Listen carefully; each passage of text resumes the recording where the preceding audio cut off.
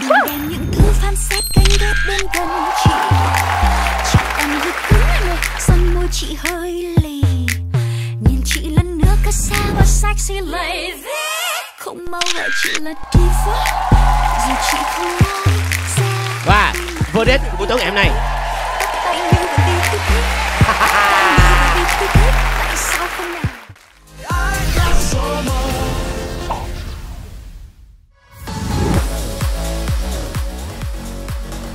Nguyễn Thùy Linh với nhiều năm kinh nghiệm trong nghề chăm sóc và làm đẹp cho thú cưng, cô sở hữu thương hiệu Kimmy Pet với nhiều chi nhánh. Cô là người đầu tiên và duy nhất có 3 bằng grooming quốc tế hiện nay.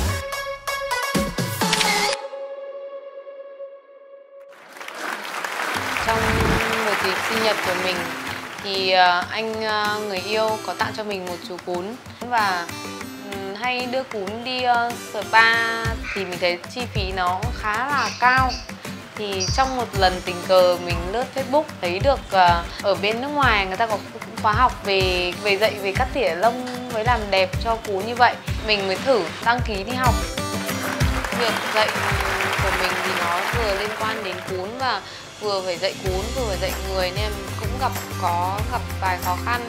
Thì à, nếu mà muốn học được ngành này thì cần là, đầu tiên là các bạn phải yêu cún. Thì à, các bạn mới có thể làm cho nó nghe theo theo mình, để mình có thể ờ, cả nó cùng với nó hợp tác để tạo nên một tác phẩm.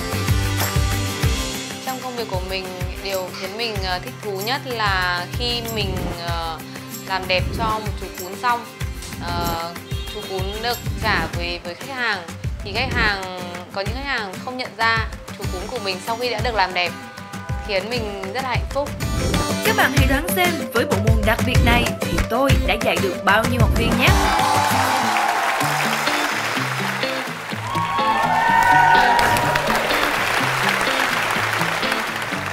It's easy to speak out about the way I live, but it's a 24 karat dream.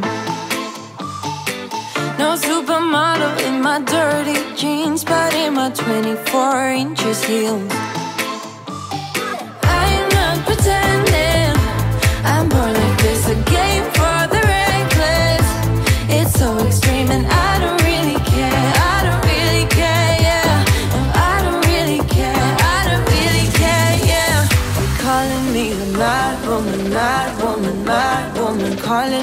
Mad woman, mad woman. No, I don't really care. I don't really care, yeah. 'Cause boy, it's none of your business if I'm a mad woman.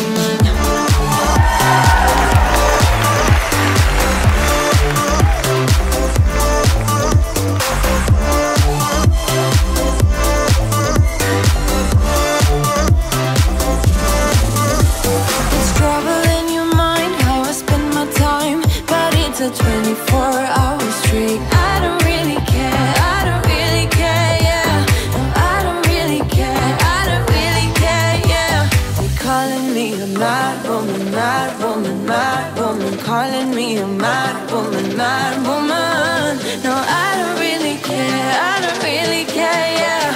'Cause boy, it's none of your business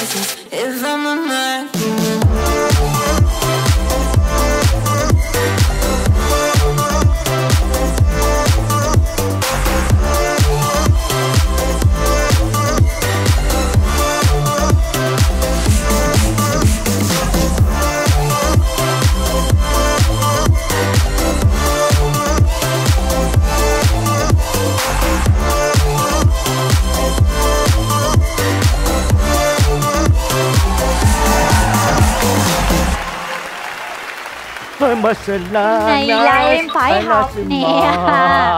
Tôi khoái con này đây Cho anh bồng nữa cái coi. Ừ. Trời đất ơi là trời ơi. Trời ơi sao con ngoan thế nhỏ Tôi chỉ làm gì vậy? Đằng nó Con nó có sợ không? Con nó có tương tác với mình không? sao hay quá ha nó nó không có nhúc nhích ha nó không có chạy luôn á. ui chị ờ, học cắt cái này bao lâu rồi?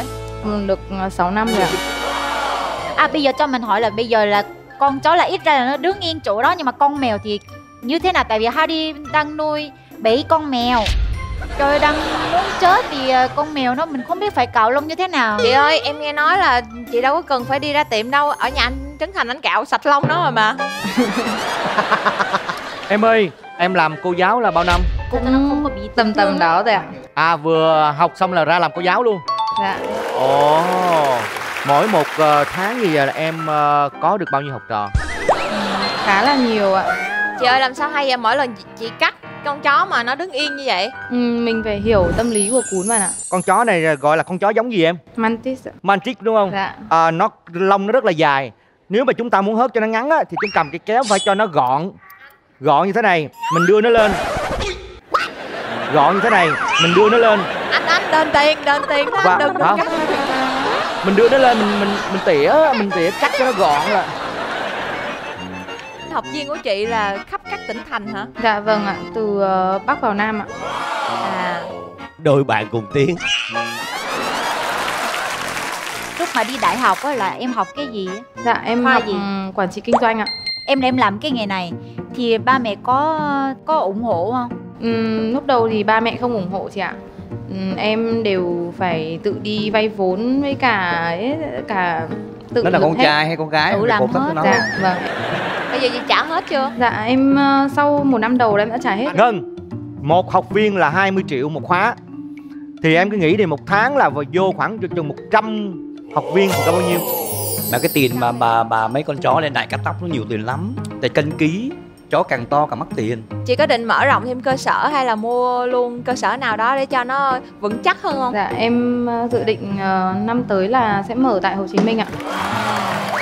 Vậy là học viên cũng khá đó anh. Ở một cái chi nhánh của chị á, khoảng có bao nhiêu thợ phụ hả? Dạ, một chi nhánh của em trung bình khoảng 15 đến 20 thợ phụ ạ. Một ngày em ờ, cắt tỉa được bao nhiêu con chó? Ừm, nếu mà ít thì rơi vào khoảng tầm 20 đến 30 chú cún ạ. Một Còn con, một con như mình cắt tóc là mình ờ, nhận thù lao được bao nhiêu? bên em tính theo cân nặng ạ. Ví dụ bé như này, Bé này như bé này là chi phí là khoảng 450 nghìn ạ.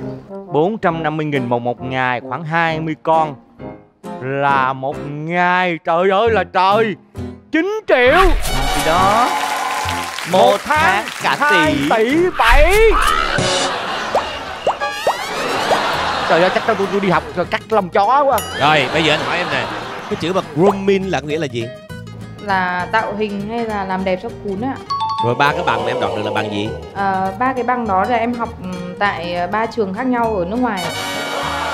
rồi ngày xưa là từ một cái con cái con cuốn của bạn trai tặng mà tạo nên một cái sự nghiệp như bây giờ. Dạ, thì bạn trai đó bây giờ là chồng của mình. Đúng rồi ạ. Ngay mà thấy không? Wow. quá hạnh phúc. Anh giang. Gì? Ờ, chồng của chị tặng cho chị con chó. Bây giờ hai người cưới nhau. Bây giờ nếu mà em muốn lấy chồng á, em nên làm cái gì để mà ờ, kết thúc cái hậu giống vậy á chị? Em hỏi anh chồng em á. Em bớt ăn này là được mọi mọi việc tốt đẹp hết. Thưa quý vị sau vài phút cô ấy đã làm rất đẹp. Đây hãy nhìn sản phẩm. Tên tên tên tên tên tên